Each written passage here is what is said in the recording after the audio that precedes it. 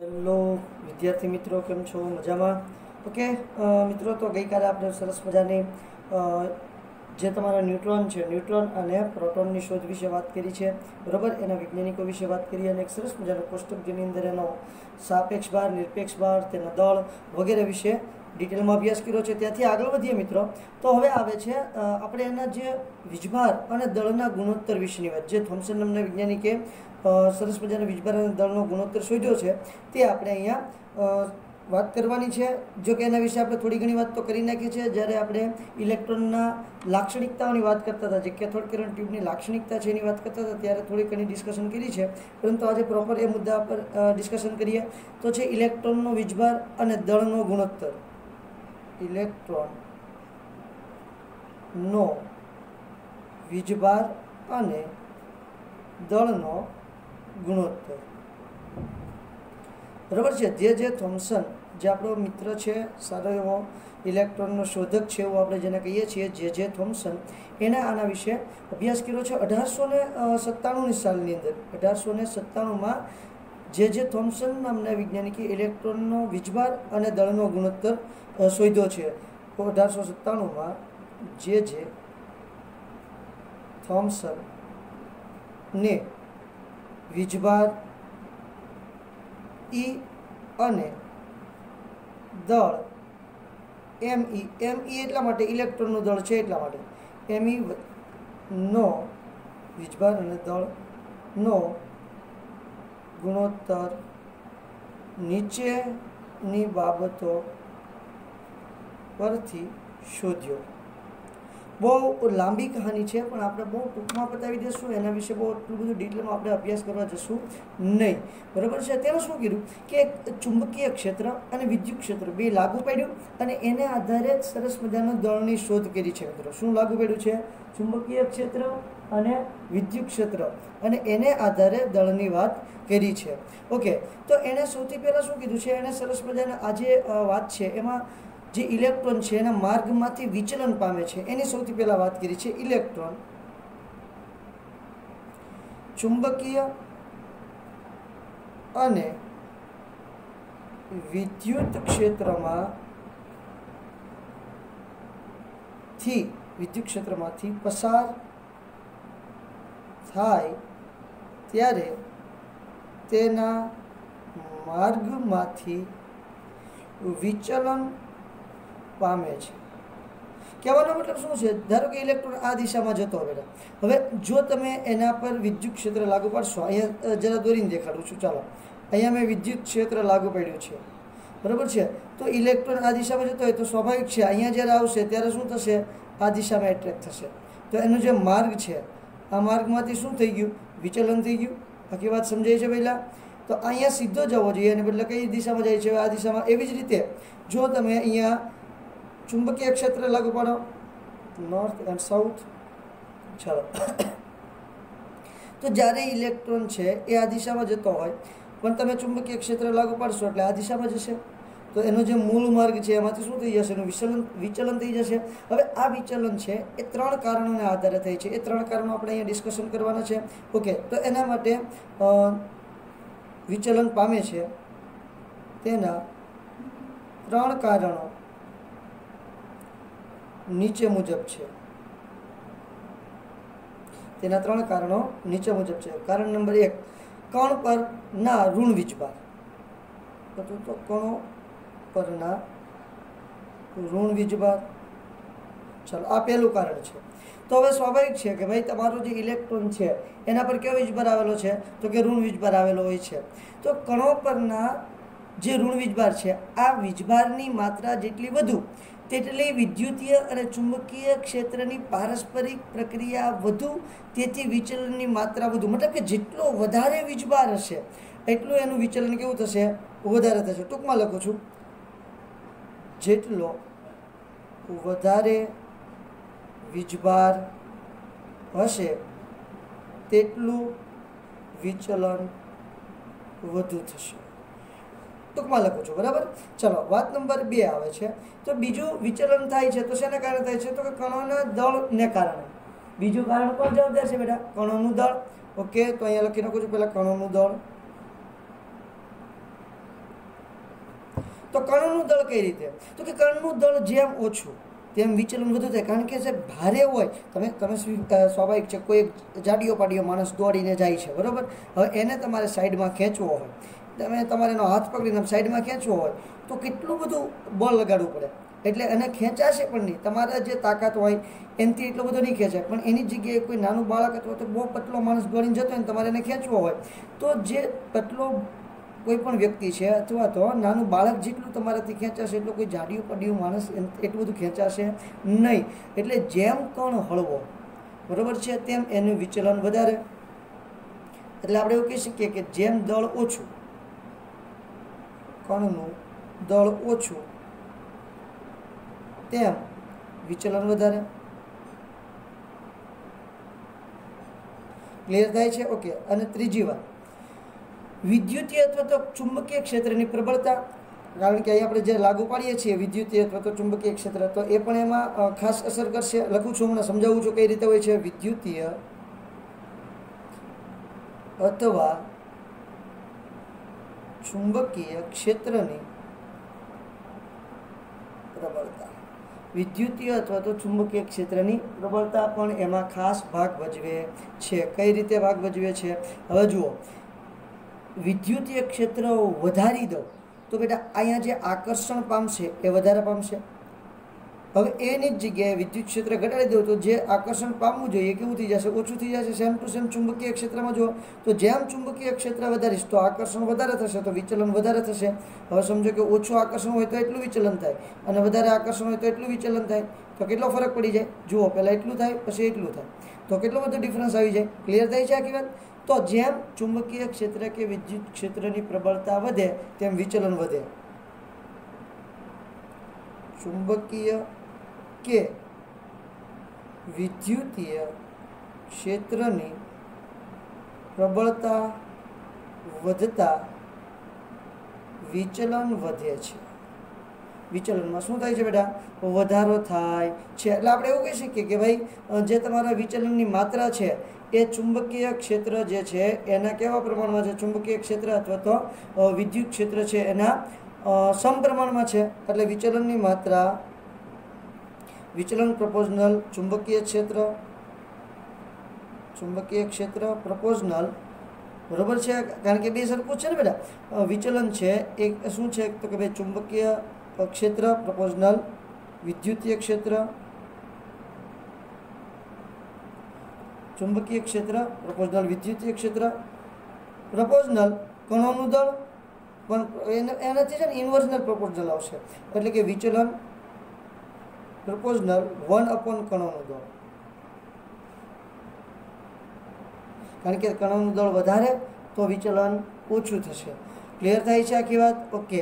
અને હજી એક છે કે ભાઈ વિચલન જે છે, પ્રપોઝનલ કણો પરનો વીજભાર, કણ પરનો વીજભાર, વિચલન પ્રપોઝનો પ્રપોઝનલ કણ પરનો વીજભાર. ચાલો, તો આ ત્રણેય મેટર જે ઉપર છે, આપણે અહીંયા સરસ મજાની દર્શાવી દીધી છે. હવે જુઓ, શું ઘટના આખી બને છે, તેનું એક સરસ મજાનું પ્રાયોગિક અવલોકન તમારી ચોપડીની અંદર આપેલું છે. તો હું જરા એને બહુ રફ આકૃતિથી ફટાફટ તમને સમજાવી દેવાનો પ્રયત્ન કરું છું. તો જુઓ, કે ભાઈ તમે બે ક્ષેત્ર લાગુ પાડ્યા છે, બરાબર? આ સમજો કે તમારું છે ચુંબકીય ક્ષેત્ર, અહીંયા નોર્થ અહીંયા સાઉથ પછી સેમ ટુ સેમ અહીંયા આપણે લાગુ પાડ્યું છે એના પર વિદ્યુત ક્ષેત્ર, મિત્રો. ચાલો. ઉપર અને નીચે આ પ્લેટ છે એવું એવું શાયદ દેખાતું જ હશે. ન દેખાતું હોય તો જોઈ લેજો. ઉપર અને નીચે આ પ્લેટ છે, વિદ્યુત પ્લેટ. અહીંયા ધન વીજભારિત રાખું છું, અહીંયા ઋણ વીજભારિત રાખું છું, અહીંયા નોર્થ છે, અહીંયા સાઉથ છે.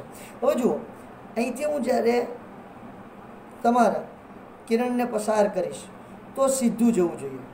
ક્યાં જવું જોઈએ બેટા? સીધું. એ પર અથડાવવું જોઈએ. અહીંયા હું કોઈ પ્લેટ મૂકી દઉં છું જે આપણે સરસ મજાનું તમારું જે ઝબકારા થાય છે કે ઇલેક્ટ્રોન આવે એટલે તરત તમને ખ્યાલ આવી જાય.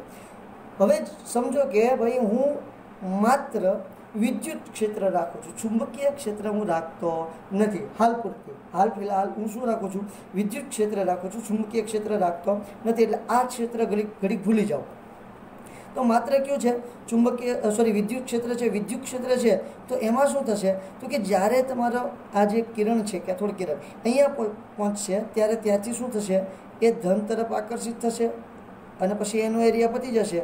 એટલે એની દિશા કેવી થઈ જશે? અહીંયા થઈ જશે. આને સમજો કે હું એ કહું, તો અને હું કહી દઈશ બી અથવા તો સી જે તમે કહો તે, બરાબર? અને હું કહી દઉં છું બી ચાલો. કદાચ તમારી ચોપડીમાં, ચોપડી કરતાં અલગ આકૃતિ બને કોઈ પ્રશ્ન નથી. આપણે માત્ર એ જોવાનું છે કે તમારું કઈ દિશામાં વિચલન થાય છે. બરાબર? તો આ દિશામાં થશે એટલે બી બિંદુએ જઈને અથડાશે હવે ધારો કે આ વિદ્યુત ક્ષેત્ર છે એને હું ઝીરો કરી નાખું છું. એટલે કે ત્યાં નથી, એવું માની લ્યો. તો માત્ર ચુંબકીય ક્ષેત્ર લાગુ પાડીશ, ચુંબકીય ક્ષેત્ર લાગુ પાડીશ, તો અહીંયા જ્યારે તમારું ઇલેક્ટ્રોન આવશે, ત્યાંથી કોના તરફ એટ્રેક્ટ થશે? તો કે ભાઈ તમારા ચુંબકીય એસ ધ્રુવ તરફ એટ્રેક્ટ થશે એસ ધ્રુવ તરફ એટ્રેક્ટ થશે, એટલે કિરણની દિશામાં શું થઈ જશે? બદલાવ થઈ જશે અને ક્યાં જઈને અથડાશે? સી પર જઈને અથડાશે. આખી વાત સમજણમાં આવે છે મિત્રો? તો આ રીતે માત્ર વિદ્યુત ક્ષેત્રની હાજરીમાં બી પર અને માત્ર ચુંબકીય ક્ષેત્રની હાજરીમાં સી પોઈન્ટ પર તમારો ઇલેક્ટ્રોનનું જે કિરણ છે એ જઈને અથડાય છે, એટલે કે ત્યાં તમને જોવા મળશે. પરંતુ તમે ચુંબકીય ક્ષેત્રને વિદ્યુત ક્ષેત્રને એવી રીતે એડજસ્ટ કરો કે તમારા વિકિરણની દિશા આ બે ક્ષેત્ર લાગુ પાડેલું ન હોય ત્યારે જેવી હોય એવી જ તમને જોવા મળે. એટલે કે તમને ક્યાં મળવું જોઈએ તે પોઈન્ટ એ બિંદુ પર અથડાતું મળવું જોઈએ. ક્લિયર થાય છે આખી વાત? વિચલન થયેલું હોવું જોઈએ નહીં, ટૂંકમાં. તો આ રીતે સરસ મજાનું તમારે પ્રયોગ કરેલો છે. કોણે કરેલો છે? આ મેં કે તમે કર્યો નથી. આ થોમ્સન નામના વૈજ્ઞાનિકે આ પ્રયોગ કરેલો છે. કઈ સાલમાં મિત્રો? અઢારસો ને સત્તાણુંની સાલમાં આ સરસ મજાનો પ્રયોગ કરેલો છે. અને એણે જે કાલે જે લાક્ષણિકતા છે ઇલેક્ટ્રોનની એ લાક્ષણિકતા બધી કોણે શોધી છે? જે જે થોમ્સન નામના વૈજ્ઞાનિક, એટલે ઇલેક્ટ્રોનનો શોધક કોણ કહેવાય છે? જે જે થોમ્સન તરીકે ઓળખવામાં આવે છે. ઘણા વિદ્યાર્થીઓનો છે બહુ બધી વખત આ પ્રશ્ન હોય છે અને બહુ બધી વખત મને પૂછે પણ છે. તો આ ખાસ યાદ રાખવાનું છે. તો આવા વિદ્યુતીય અને ચુંબકીય ક્ષેત્રો લાગુ પાડી અને થોમ્સને સરસ મજાનું ઈ અપોન એમ ઈ જે છે, એ દળનો રેશિયો શોધ્યો છે. એ રેશિયો એને શું જોવા મળે છે? તો જો, એનું આપણને ખબર છે, વીજભાર કેટલો છે? One point six into ten to minus nineteen upon M E કેટલું છે? દળ કેટલું છે? નવ પોઈન્ટ આપણે ત્યારે રીતે વાત કરી હતી, નવ પોઈન્ટ અગિયાર લ્યો, તો પણ કોઈ પ્રશ્ન નથી. અથવા તો તમે એને કેટલું બીજું લઈ શકો છો? તો કે ભાઈ નવ પોઈન્ટ દસ ચોરાણું લ્યો, તો કોઈ પ્રશ્ન નથી. આપણે દસ નવ જ લઈએ છીએ, ગુણ્યા દસની શું થશે મિત્રો? માઇનસ એકત્રીસ ઘાત કિલોગ્રામ. આ કુલમ. બરાબર છે. બેનું તમે ભાગાકાર કરશો એટલે તમને જવાબ આવશે એપ્રોક્સિમેટલી એક પોઈન્ટ પંચોતેર અઠ્યાસી ગુણ્યા દસની અગિયાર ઘાત કુલમ ઇન્ટુ કિલોગ્રામ ઇનવર્સ બરાબર છે? તો એટલું ઈ બાય એમ ઈનો જે દળનો ગુણોત્તર છે એ મેળવી કાઢેલો છે. કોણે મેળવ્યો છે મિત્રો? જે જે થોમ્સન નામના વૈજ્ઞાનિકે મેળવેલો છે. તો અહીં લખી નાખું. ઈ એટલે શું છે? ઇલેક્ટ્રોનનો વીજભાર.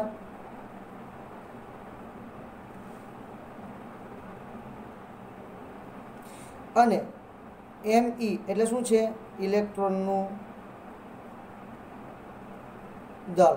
હવે ઇલેક્ટ્રોનનું દળ પાછું મારે શોધવું છે સાહેબ. તો ઇલેક્ટ્રોનનું દળ શોધ્યું છે મુલિકન નામના વૈજ્ઞાનિકે. મુલિકન નામના વૈજ્ઞાનિક મુલિકન નામનો જે વૈજ્ઞાનિક છે, આ વૈજ્ઞાનિકે બિંદુ તેલ બિંદુ પદ્ધતિથી, મિલિકન તેલ બિંદુ પદ્ધતિથી ઇલેક્ટ્રોન પરનો જે ભાર છે, દળ છે, એ દળ શોધેલો છે. બરાબર? પણ એને આપણે બહુ ડિટેલમાં એટલું બધું અભ્યાસ કરવાની કંઈ જરૂર નથી. એના, એનો જે પ્રયોગ છે તમારા એનસીઆરટી પુસ્તકની અંદર આપેલો છે, પણ એ ક્યારેય પૂછાય એવી સંભાવના છે નહીં. પણ આપણે જરાક એને દળ કઈ રીતે, જો કે દળે એવું પૂછાતું નથી બેટા કઈ રીતે મેળવ્યું છે એમ, પણ છતાં આપણે થોડું ડિસ્કશન કરી લઈએ તમારે પુસ્તકની અંદર આપેલું છે એટલા માટે. હવે જો, આપણને ખબર છે, અહીંયા જરાક લખી નાખું, ઇલેક્ટ્રોનનું દળ કઈ રીતે મેળવું છે એ જરાક આપણે જોશું. અને એનો બિંદુ પ્રયોગ તમારે વાંચવો હોય તો એ આખો બિંદુ પ્રયોગ તમારા પુસ્તકની અંદર આપેલો છે. પણ એની કંઈ આપણે જરૂર છે ને એટલે ડિસ્કશન કરતા નથી. ઓકે, તો એને જ્યારે મિલિકન નામનો વૈજ્ઞાનિક છે. આ મિલિકન નામના વૈજ્ઞાનિકે બિંદુ પ્રયોગ કર્યો. ત્યારે એણે ઇલેક્ટ્રોનનો વીજભાર નક્કી કરેલો હતો. ઇલેક્ટ્રોનનો વીજભાર કેટલો નક્કી કરેલો હતો? ઇલેક્ટ્રોનનો વીજભાર minus one point six into ten raise to minus nineteen coulomb.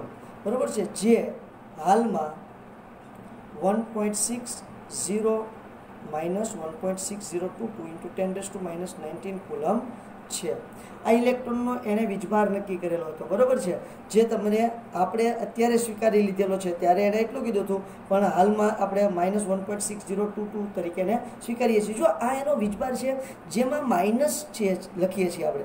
વીજભારની કિંમત one point six zero two two into ten raise to minus nineteen જ છે. પણ આ માઇનસ લખીએ છીએ, એ એનો સ્વભાવ દર્શાવે છે કે ભાઈ કેવું છે? ઋણ વીજભારિત છે. આપણે ગણતરી કરતી વખતે આ માઇનસને ધ્યાનમાં લેતા નથી. ખાસ યાદ રાખવાનું છે, ગણતરી વીજભારની ગણતરી કરતી વખતે આ માઇનસને આપણે કેલ્ક્યુલેટ કરતા નથી. એ શું દર્શાવે છે? એનો સ્વભાવ દર્શાવે છે. નેગેટિવ વીજભાર છે અને પ્રોટોન હોય તો પોઝિટિવ વીજભાર હોય. ક્લિયર થાય છે? એટલે ખાસ કરીને ધ્યાનમાં રાખવાનું છે, નહીંતર આપણને એમ થાય કે સાહેબે કેલ્ક્યુલેશન કરતી વખતે તો આ માઇનસ કાઢી નાખ્યું. પણ એ માઇનસ એનો સ્વભાવ દર્શાવે છે, જેને આપણે કેલ્ક્યુલેશનમાં દર્શાવવાનું નથી. એટલી વાત સમજાણી? ઓકે હવે જુઓ થોમ્સન દ્વારા નક્કી થયેલા જે આપણે ઈ બાય એમઈનો જે ગુણોત્તર છે, એના આપણે અહીંયા ઉપયોગ કરીએ અને દળ શોધવાનો પ્રયત્ન કરીએ. તો શું થશે? તો કે ઇલેક્ટ્રોનનું દળ is equal to E upon E M E જ્યાં ઈ શું છે? ઇલેક્ટ્રોનનો વીજભાર one point six zero two two into ten raise to minus nineteen coulomb upon E upon E શું છે? તો કે ઇલેક્ટ્રોનનો વીજભાર અને દળનો ગુણોત્તર. જે આપણે થોડીક વાર પહેલાં જ આપણે મેળવો છે, એક પોઈન્ટ પંચોતેર અઠ્યાસી સોરી પંચોતેર અઠ્યાસી ગુણ્યા દસની અગિયાર ઘાત કુલમ અહીંયા કુલમ અહીંયા કિલોગ્રામ ઇન્વર્સ બરાબર છે? ચલો, આ માઇનસ અગિયાર ઉપર જશે સોરી પ્લસ અગિયાર ઉપર જશે એટલે શું થઈ જશે? માઇનસ અગિયાર થઈ જશે. તમે ઓલ કેલ્ક્યુલેશન કરશો, બધી જ કેલ્ક્યુલેશન કરશો એટલે one point zero nine four into ten raise to minus thirty one kilogram કારણ કે કુલમ કુલમ ઉડી જશે કિલોગ્રામ ઇન્વર્સ છે, ઉપર જશે, તો શું થઈ જશે? કિલોગ્રામમાં કન્વર્ઝેશન થઈ જશે. ઓકે તો આ મેળ્યો છે તમને ઇલેક્ટ્રોનનો દળ. આ ઇલેક્ટ્રોનનો દળ શોધવાનું કામ કોણે કર્યું છે? પહેલાં મિલિકન. કોણે કર્યું છે? મિલિકન નામના વૈજ્ઞાનિકે સરસ મજાનો આ દળ શોધવાનું કામ કર્યું છે. ક્લિયર થાય છે? ઓકે, ત્યાંથી પછી આગળ વધીએ. તો હવે મારે એક બહુ જ ઇમ્પોર્ટન્ટ કે જે તમારી બુકની અંદર છે નહીં, બરાબર? જે તમારા પુસ્તકની અંદર જો કે આપણે આગળ એની જરૂર પડવાની છે, પણ કોઈ એવો ટોપિક તમારા પુસ્તકની અંદર આપેલો નથી, એ ટોપિક ડિસ્કશન કરવાનો છે, જેને આપણે કહીએ છીએ વીજભારના ગુણધર્મો. છે એને શું કહેવાનું છે આપણે? વીજભારના ગુણધર્મો. અથવા તો વિદ્યુત ભારના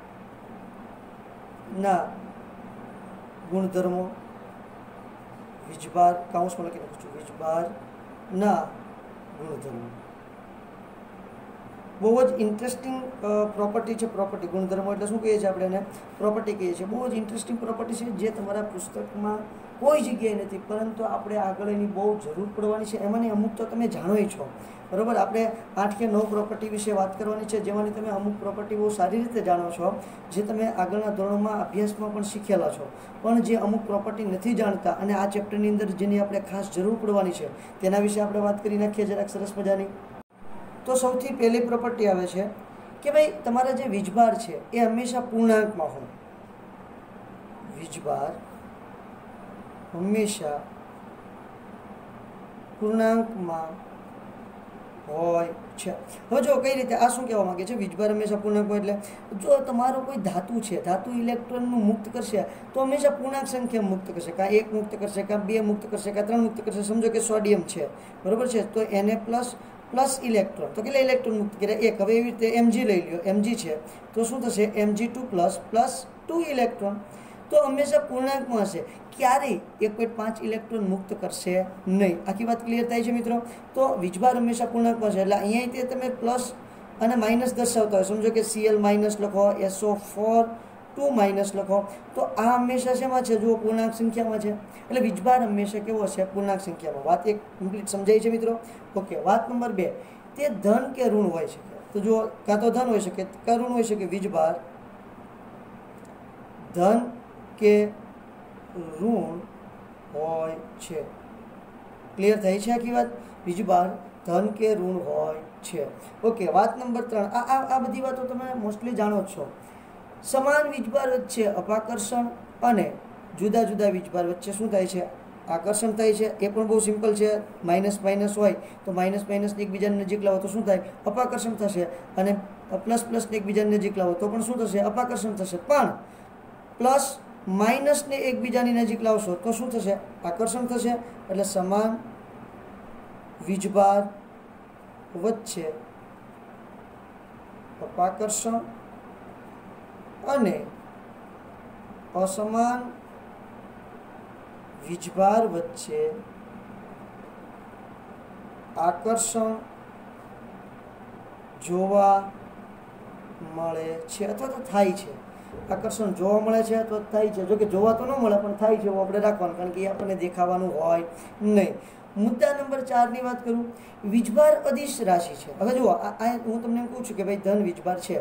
તો અહીં એવું ક્યારે આવે કે ભાઈ જમણી બાજુથી ઇલેક્ટ્રોન મુક્ત કરે, તો ભાઈ ધન અને ડાબી બાજુથી મુક્ત કરે, તો ઋણ. એવું ક્યારેય આવતું નથી. એટલે એ કેવી રાશિ છે? અધિશ રાશિ છે. અધિશ રાશિ છે. વીજભાર પ્રાપ્ત કરવો અદિશ રાશિ છે. તો વીજભાર અધિશ રાશિ છે. પરંતુ તેમની વચ્ચેનું આકર્ષણ કે અપાકર્ષણ તે સદિશ રાશિ છે. તે તેને જોડવામાં આવેલી લાઇનની દિશામાં જ હોય છે. લખું છું. અદિશ રાશિ છે. પરંતુ તેમની વચ્ચેનું આકર્ષણ કે અપાકર્ષણ સદિશ રાશિ છે. તે આ સદિશ રાશિ છે. આજે છે તે તેમની અથવા તો તેમને જોડવામાં આવેલી, તેમને જોડવામાં આવેલી લાઇનની દિશામાં જ હોય છે.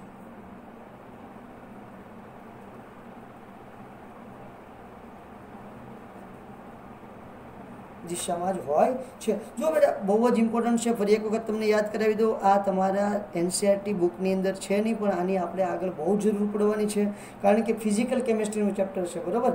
અને મેં તમને કીધું એમ, અગિયારમા ધોરણની અંદર મારું ફેવરિટ ચેપ્ટર છે. તો જુઓ, આનો શું આપણે મતલબ થાય છે એ જરાક જોઈએ. તો તમારું કોઈ પણ વિજબાર છે, બરાબર? એ કેવી રાશિ છે? તો કે અદિશ રાશિ છે. અને આપણે વીજભારને મોટાભાગે ક્યુ કહીએ છીએ, પણ ઇલેક્ટ્રોન પર ન હોય તો આપણે એને ઈ તરીકે દર્શાવીએ છીએ, બરાબર? બાકી ધન કે ઋણ કોઈ પણ જાતનો વીજભાર હોય તો એને આપણે ક્યુ દર્શ, વડે દર્શાવીએ છીએ. તો એ કેવી રાશિ છે? અદિશ રાશિ છે? પણ હવે જુઓ, કોઈ બે વીજભાર છે, ક્યુ વન અને ક્યુ ટુ. બરાબર? આ બંને વચ્ચે સમજો કે થાય છે આકર્ષણ. અને આ એક વસ્તુ ખાસ યાદ રાખવાની છે, હંમેશા તેને આપણે કેન્દ્રથી જ જોડવાનું છે. કોઈ પણ ધન વીજભાર હોય કે ઋણ વીજભાર હોય, એને આપણે કોની સાથે જોડવાનું એકબીજાના કેન્દ્રોને જ જોડવાના હોય છે? તો હવે આની વચ્ચે આકર્ષણ થાય છે અથવા તો ક્યુ વન વીજભાર અને ક્યુ ટુ વીજભાર વચ્ચે અપાકર્ષણ થાય છે એવું આપણે માની લઈએ મિત્રો. ચાલો. તો બંને વચ્ચે અપાકર્ષણ થાય કે આકર્ષણ થાય? એ કેવી રાશિ છે? સદિશ રાશિ છે. તે તેમને જોડવામાં આવેલી લાઈનની દિશામાં હોય. હવે જુઓ, અહીંથી અપાકર્ષણ થાય ને, તો અહીંયા જ થાય. આવી રીતે થાય. કંઈ અહીંથી પછી આમ અપાકર્ષણ થવા જાય નહીં. એની લાઇનમાં જ અપાકર્ષણ થાય. એટલે કેવું છે, ચોક્કસ દિશામાં છે એટલે આપણે સદીશ કહીએ છીએ. હવે જો આકર્ષણ થાય, તો આ દિશામાં જ થશે બેટા.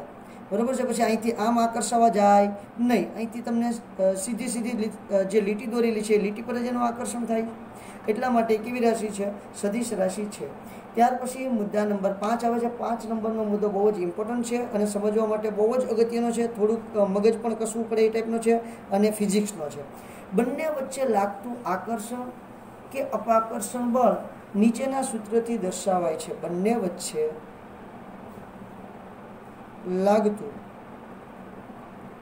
આકર્ષણ કે અપાકર્ષણ બળ નીચેના સૂત્રથી દર્શાવાય છે. આ ફિઝિક્સનું સૂત્ર છે બેટા આપણે આ ચેપ્ટરની અંદર ઘણા બધા એમસીક્યુની અંદર એની જરૂર પડતી હોય છે, તો એની માટે આપણે યાદ રાખવાનું છે. તો નીચેનું સૂત્ર મતલબ આ છે. આ આકર્ષણ અથવા અપાકર્ષણવાળું જે બળ છે, બળને આપણે દર્શાવીએ છીએ એફ એફ મીન્સ કે force force one upon four pi epsilon zero Q one Q two upon R square બરાબર છે? તો આ ક્યુ વન અને ક્યુ ટુ એમની વચ્ચેનું જે અંતર છે અને આપણે આર આ ક્યુ વન આ તમારો વીજભાર છે ક્યુ વન વીજભાર આ વીજભાર છે અને ક્યુ ટુ કહી દઈએ, એમની વચ્ચેનું જે અંતર છે એ આર હોય છે. બરાબર છે? હવે જુઓ, આ ક્યુ વન અને ક્યુ ટુ એમની વચ્ચેનું જે અંતર છે, તે અંતર દર્શાવી દીધું છે. હવે વન તો કે વન કેવું હોય છે? અચળ હોય છે. ફોર ફોર પણ અચળ હોય છે. પાઈ, પાઈની કિંમત હંમેશા કેવી હોય છે? અચળ. આ એપ્સાઇલોન ઝીરો શું છે એને ફિઝિક્સમાં તમે માધ્યમની પરમિએબિલિટી તરીકે ઓળખવામાં આવે છે. બરાબર છે? તો માધ્યમની પરમિ, આ જે એપ્સાઇલોન ઝીરો જે છે, એની કિંમત કોના પર આધાર રાખશે? માધ્યમ પર આધાર રાખશે. અલગ અલગ માધ્યમ હોય. સમજો કે અત્યારે હું કોઈ ઓરડાની અંદર પ્રક્રિયા કરું છું. બરાબર છે? એની આ જે ક્યુ અને ક્યુ વચ્ચેનું આકર્ષણ બળ હું નોંધવા જાઉં છું. તો ઓરડાની અંદર હવા હશે, તો હવા અવરોધ તરીકે નડશે આપણને. તો અથવા તો હવાના જે કંઈ પાર્ટિકલ્સ હશે, એ પણ આમાં ભાગ ભજવશે. તો એની જે કિંમત છે અને આપણે એપ્સાઇલોન ઝીરો કહીએ.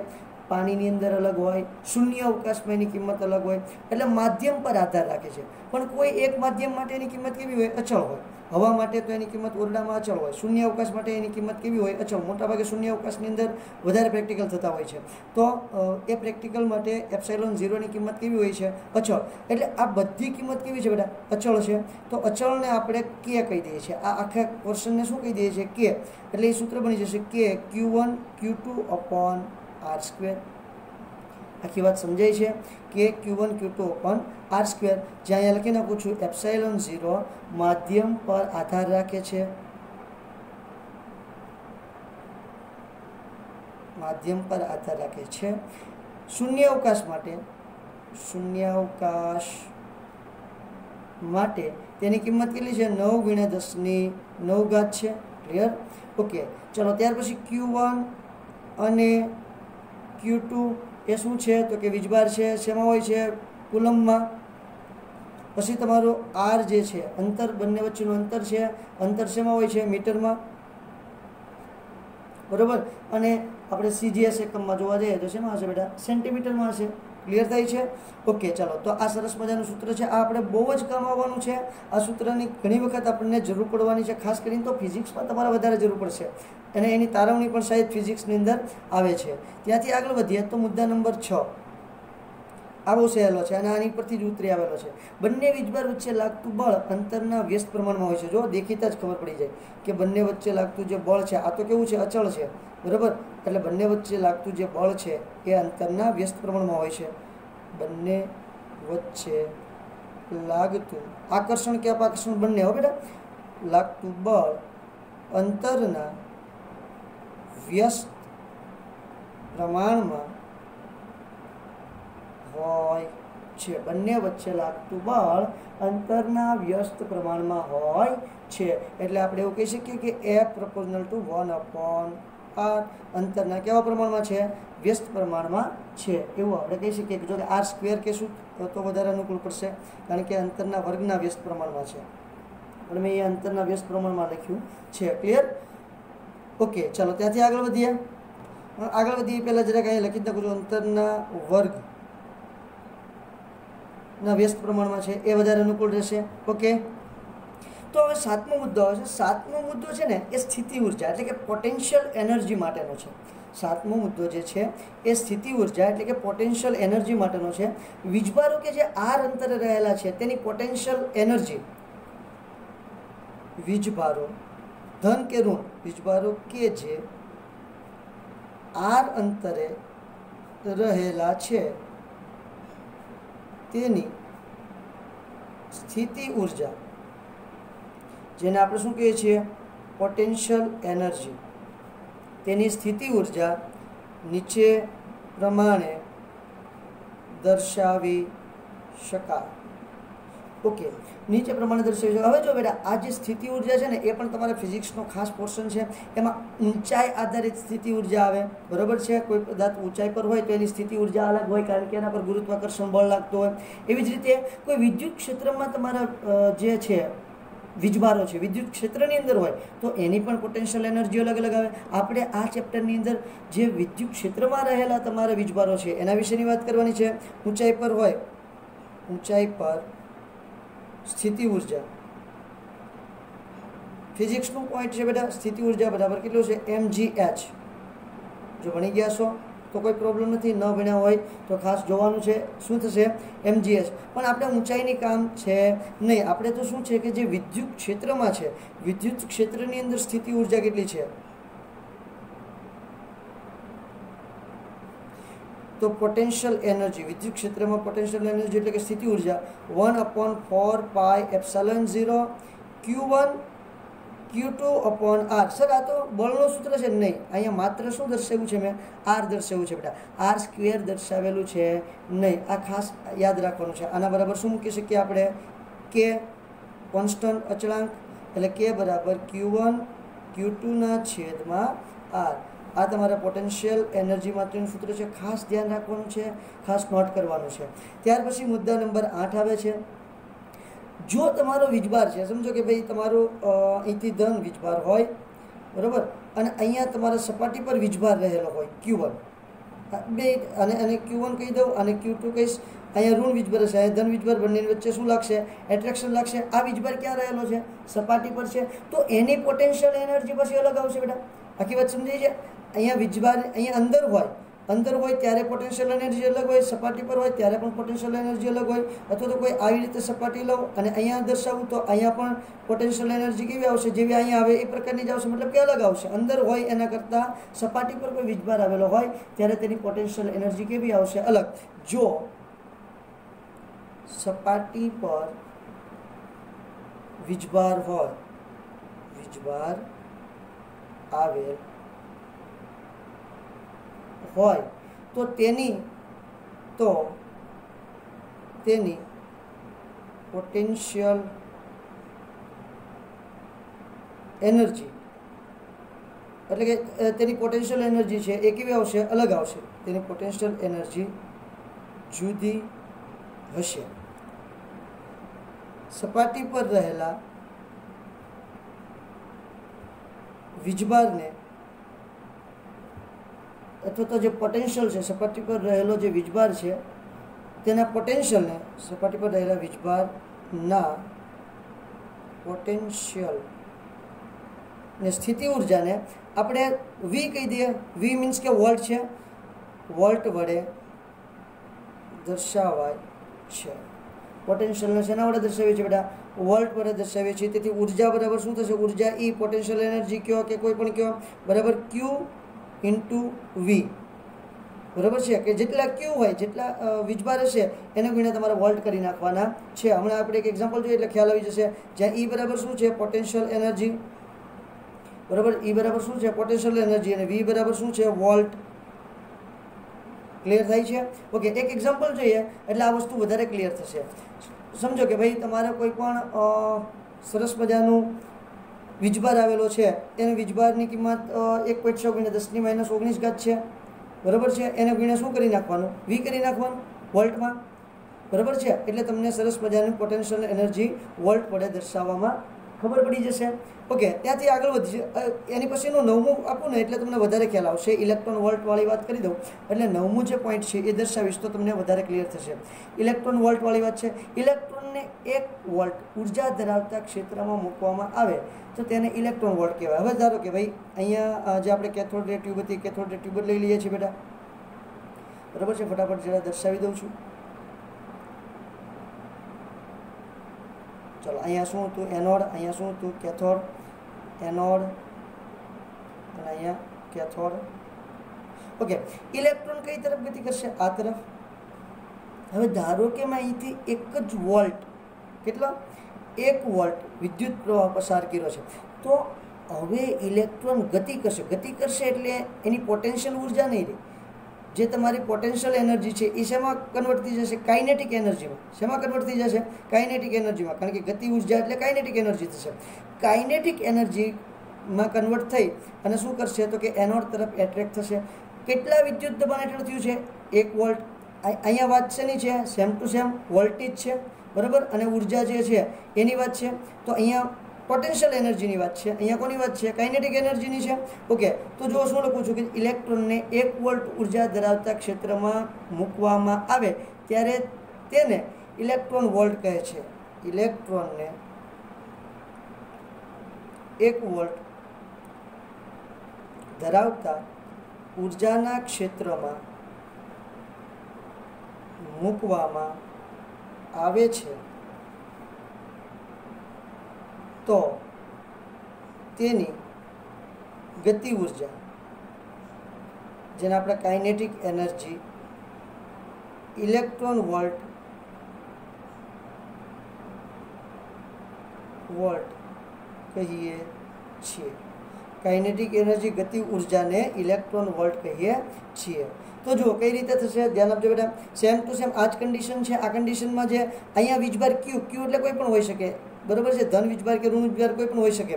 તો હવે હું અહીંયા ફિક્સ કરી દઉં છું. કોની વાત કરી છે મેં ઇલેક્ટ્રોનની વાત કરી છે એટલે હું જે ક્યુ છે એની જગ્યાએ શું મૂકી દઈશ? ઈ મૂકી દઈશ. એટલે કાઇનેટિક એનર્જી બરાબર શું આવશે? E into V electron volt. Okay, ઇલેક્ટ્રોનનો વીજભાર કેટલો છે બેટા? ઇલેક્ટ્રોનનો વીજભાર છે one point six into ten raise to minus nineteen coulomb clear છે? ઓકે કુલમ ઇન્ટુ વી કારણ કે એક જ વોલ્ટ છે. એક વોલ્ટ ઓકે, તો કાઇનેટિક એનર્જી કેટલી થશે? ઇલેક્ટ્રોન માટે kinetic energy is equal to one point six into ten raise to minus nineteen coulomb into volt okay coulomb into volt એટલે એને જૂલ કહેવાય, કે એ બરાબર શું થશે? One point six into ten raise to minus nineteen joule આ કે નાખું joule is equal to coulomb into sorry C into V આ યાદ રાખવાનું છે? રિલેશન છે બંને વચ્ચેનું. અથવા એક વસ્તુ એ પણ થઈ ગઈ. ભાઈ, ચલો, એક ઇલેક્ટ્રોન વોલ્ટ બરાબર કેટલા થશે? કેટલા જૂલ થાય.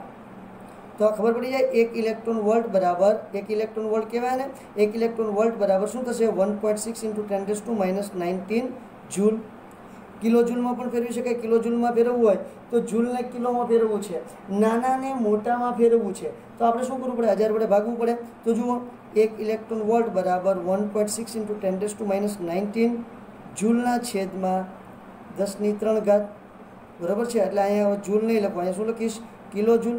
ચલો દસની ત્રણ ઘાત ઉપર છે એટલે શું થઈ જાય? દસની માઇનસ ત્રણ ઘાત થઈ જાય. એટલે દસની માઇનસ ત્રણ ઘાત પ્લસ દસની ઓગણીસ ઘાત, દસની માઇનસ ઓગણીસ ઘાત એટલે થઈ જશે one point six into ten raise to minus ઓગણીસ ગુણ્યા દસની માઇનસ ત્રણ. કેટલી થશે? ટોટલ દસની બાવીસ. One point six into ten raise to minus દસની બાવીસ શું આવશે? Kilo joule. Clear kilo joule પર મોલ કહે તો શું કરવાનું? છ પોઈન્ટ ઝીરો ફાઈવ ગુણ્યા દસની ત્રેવીસ ઘાત વડે એને ગુણી નાખવાનું. એટલે થઈ જશે. એક ઇલેક્ટ્રોન વોલ્ટ બરાબર. આ એક ઇલેક્ટ્રોન વોલ્ટ બરાબર જ બધા સંબંધ તમને સમજાવું છું બેટા? ખાસ ધ્યાન રાખવાનું છે, એક ઇલેક્ટ્રોન વોલ્ટ બરાબર એક પોઈન્ટ છ ગુણ્યા દસની માઇનસ બાવીસ ઘાત, એને ગુણ્યા છ પોઈન્ટ ઝીરો બાવીસ ગુણ્યા દસની ત્રેવીસ ઘાત. બરાબર છે? તો એક ઇલેક્ટ્રોન વોલ્ટ કે આનું કેલ્ક્યુલેશન જાતે કરી નાખજો બેટા. એટલે તમારું થઈ ગયું. શું આવી ગયું? કિલો જૂલ પર મોલ. એક મોલ દીઠ એટલે કિલો જૂલ આવશે. આ કેલ્ક્યુલેશન તમારે જાતે એટલું કરી નાખવાનું છે. એટલે સુધીની વાત ખબર પડી? ઓકે, એમ તો મારે આજે સરસ મજાનો થોમ્સન નમૂનો સમજાવો હતો પણ બહુ બધો ટાઈમ જતો રહ્યો છે. જોકે સમજાવ્યું છે. આ બહુ ઇન્ટરેસ્ટિંગ ટોપિક છે. આ બધી વસ્તુ તમારે ખાસ જે ડબલઈ અને નીટની અંદર અતિશય એમાંય ખાસ કરીને જે ડબલઈવાળા મિત્રોને તો આ ખાસ ઉપયોગી બનવાની છે. એટલા માટે આજનો લેક્ચર તમારી માટે બહુ જ ઇમ્પોર્ટન્ટ છે. આજે આપણે એટલે લખીએ, કાલથી આપણે શરૂ કરીએ છીએ સરસ મજાના નમૂના થોમ્સન અને રુતરફોર્ડના નમૂનાની કાલે આપણે વાત કરીએ.